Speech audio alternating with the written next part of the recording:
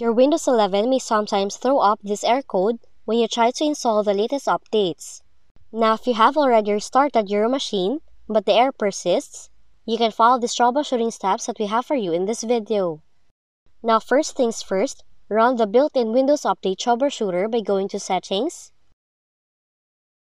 select System, choose Troubleshoot, click on Other Troubleshooters, and then launch the Update Troubleshooter.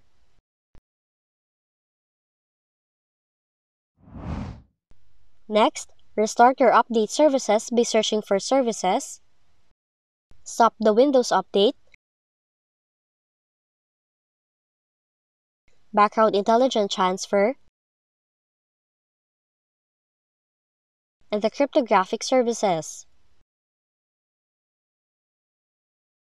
Once done, navigate to this path, rename this folder to this one, go to this path,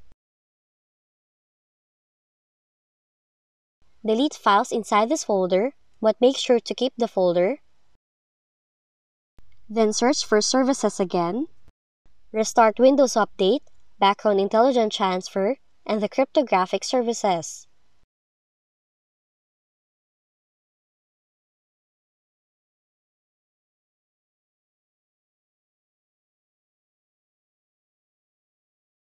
Additionally, make sure to set the startup type to automatic, restart computer, and check for updates. For your last resort, verify date and time settings by right-clicking on Time and Date on your taskbar, select Adjust Time and Date, and then enable the necessary option.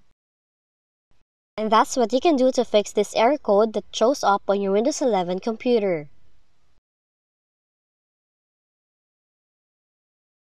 If you found this video helpful, kindly like and subscribe.